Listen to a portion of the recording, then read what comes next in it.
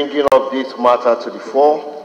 It could only come from somebody who has milk of compassion. Mr. Speaker, we are all aware, especially for somebody like me, who in my faith has had cause to visit prisons and have seen the deplorable state of our prisons, and it's a cause for worry. Mr. Speaker, my dear honorable colleagues, I would plead the indulgence of our honorable members to close their eyes for one second and imagine the deplorable state of our prisons and then imagine having these prisons to accommodate newborn babies. Mr. Speaker, this is very appalling.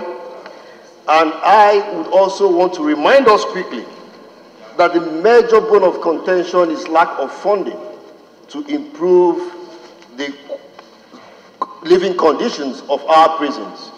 The Comptroller General of Prisons have said this severally, that they have been compelled to deal with very meager resources which impart little or nothing to improving the conditions of our prisons.